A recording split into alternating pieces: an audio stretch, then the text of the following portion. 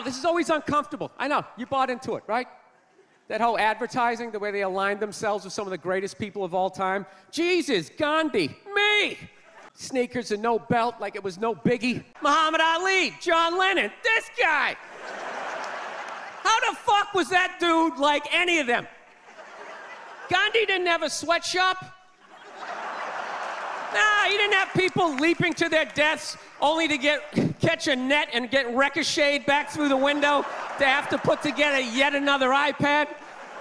John Lennon didn't have children in his basement pressing those fucking albums.